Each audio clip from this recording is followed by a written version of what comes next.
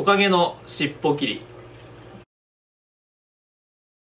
こんにちは。ティーズガーデンの川中です。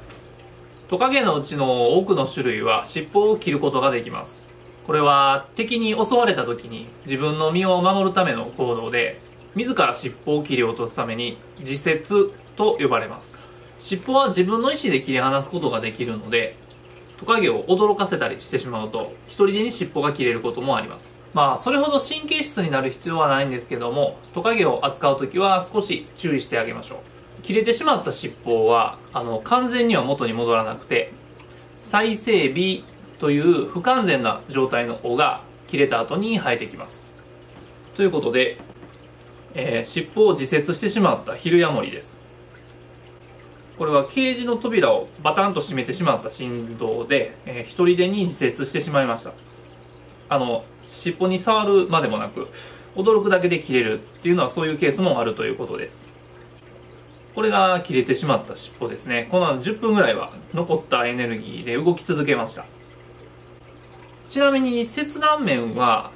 あの筋肉が収縮して止血が行われるのでほとんど血は出ません。これが自節してから1週間後の写真ですね。早くも切断面の肉が少し盛り上がってきているのがわかるでしょうか？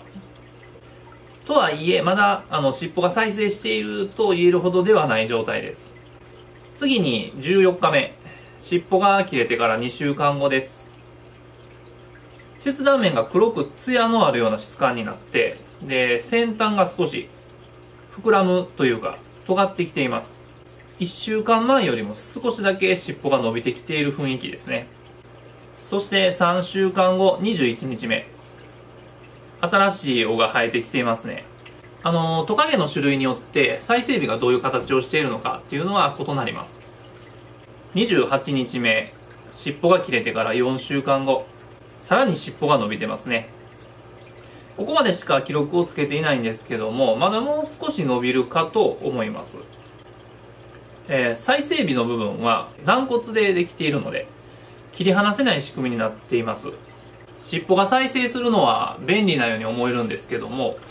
実は再生するためにこうかなりのエネルギーが必要で栄養状態や健康状態の悪い個体だと再生する過程で衰弱死してしまう場合もあります。また自節自体があの外傷なので切断面から細菌感染を起こす可能性もあります。特に人気のヒョウモントカゲモドキだと尻尾が太いのででさらにそこに栄養を蓄えたりしますから気をつけてあげてほしいなと思います。人間社会ではトカゲの尻尾切りというと